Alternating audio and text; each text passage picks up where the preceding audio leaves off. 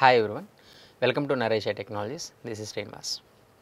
So in this video, I am going to explain set collection type in Python.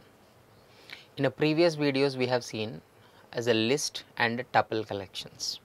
So here, now today I am going to explain how set object works. What is the set functionality? What type of elements we can store? All the things we will see. Here, as we are opening ideally, how can we represent the set? How can we create the set? For example, set S is equal to, we are representing with a curly braces, braces. We are storing the elements into set. After that, so I am displaying the set. Look at this. In which order we are inserting the elements? In the same order, elements will not be displayed. So nothing but set is not an ordered collection that is. So, in random order elements will be processed. Here can we store different types of elements? Like we can say heterogeneous elements can we store or not? Into the set into the set like 10 10 comma 20 comma 2.3 comma abc some string we are storing. Different types of elements can we store or not? Yes allowed. But of course as a random order so here different types of objects like elements only. Elements allowed into set. Now the next feature. Can we store the duplicates into set? S is equal to set. Here it is a 10 20 30 again 10 20 again 10 20 we are storing like this. Duplicate elements we are storing in the time means what at the time of construction only all the duplicates will be removed. Set elements will be removed. Here duplicates duplicates not allowed. Only unique elements allowed. So we can use set in hashing technique. Hashing techniques and all we'll see. Here here it is a duplicates not allowed. All the duplicates will be removed automatically.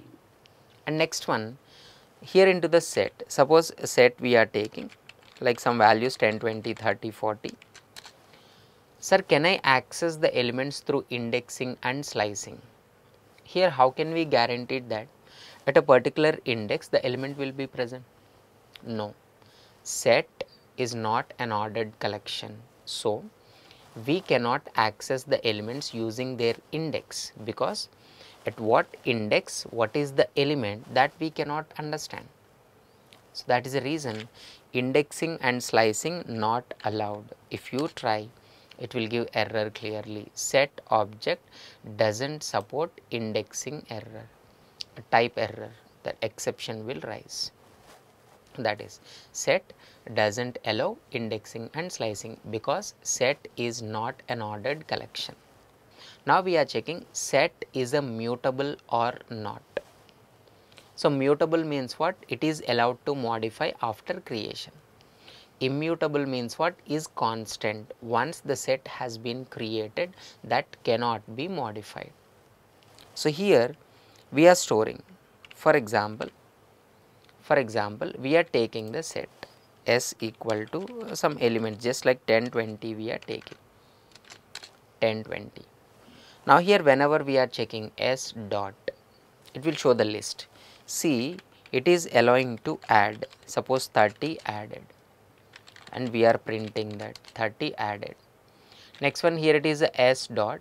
Here it is a function for example discard function is there whatever the element you specify that element will be removed here whenever we are printing that only 10 and 30 present.